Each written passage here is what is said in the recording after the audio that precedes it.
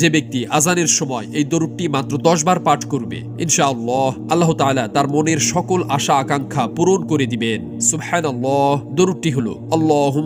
সল্লি আলা মুহাম্মদ সাল্লাল্লাহু আলাইহি ওয়াসাল্লাম